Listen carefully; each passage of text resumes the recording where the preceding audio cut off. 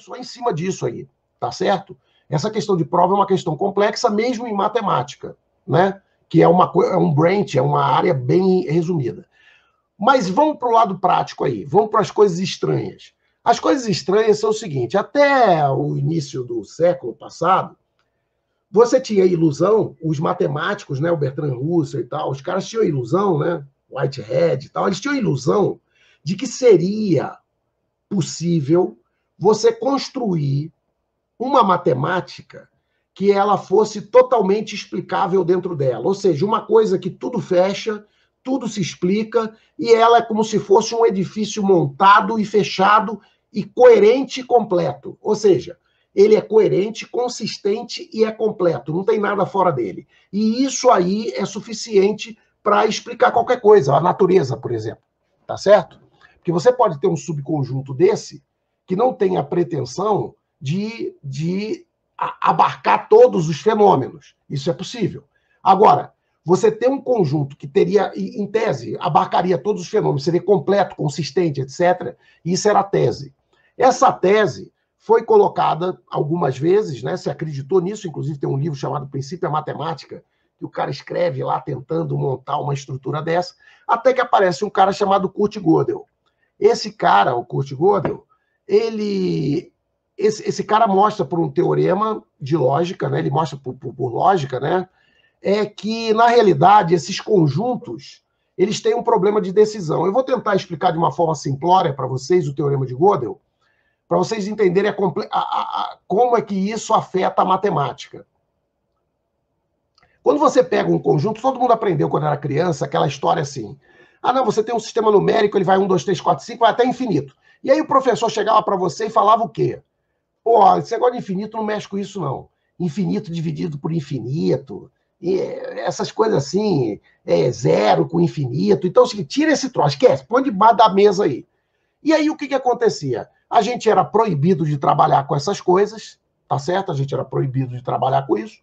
E a gente continuava fazendo as nossas contas, acreditando, então, naquilo que está sendo feito. 5 mais 5 dá 10, 20 mais 20 dá 40, aquilo tudo sempre cabia dentro dos nossos números, e para a gente estava tudo certo. Né? Bom, o que acontece é o seguinte: o Gödel chega, né, por uma sequência lógica, né, que não é muito difícil de entender, não, mas eu vou tentar simplificar a explicação do problema para vocês, para vocês entenderem. Então, por exemplo, imagina agora na cabeça de vocês que eu, eu me recuso a acreditar que existe essa entidade mágica chamada infinito. Tá certo? Ou seja, eu posso inventar o número quanto eu quiser de grande, né? E infinito não existe. Até esse conceito de infinito, eu já expliquei em outras lives para vocês, ele, ele, ele muda no tempo, né? Então, assim, esse conceito de infinitude, ele, ele, ele tem sentidos diferentes. Então, a infinitude, por exemplo, na ideia lá do, dos gregos, do Aristóteles, não era um, um, um objeto, era um caminho né, que não chegava nunca. A ideia de um objeto ou de um símbolo, ele vem muito quando a gente vai falar aqui um pouco mais além aqui do, do Cantor, né, do Georg Cantor. Mas vamos lá. Então, estamos em teoria dos números, vamos no problema cabeludo aí.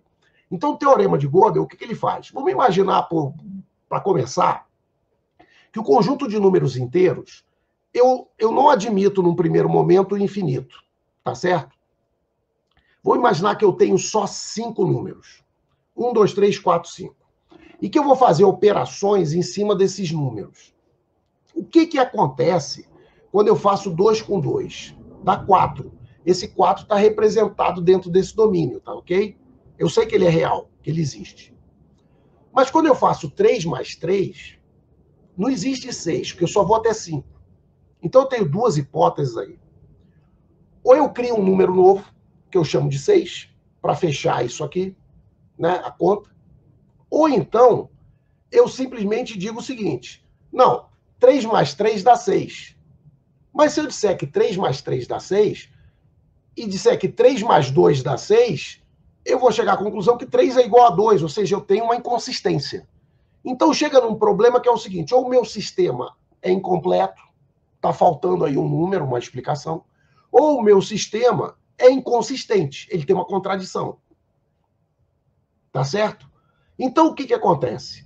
Então existem verdades que você não consegue ver dentro do próprio sistema, que é isso aqui. O 6, por exemplo, está fora. Você, a sua alternativa é ir aumentando sempre um número. Mas o fato de você aumentar um número, mesmo que esse número chegasse até um limite qualquer que você imaginasse, ele não tiraria a inconsistência do próprio conjunto. Então, isso meio que criou um problema,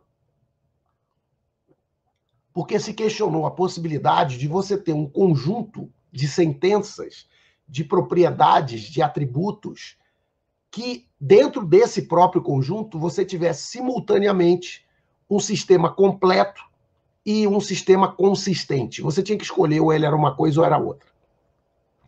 Essa aí é a base do teorema de Gödel, a ideia.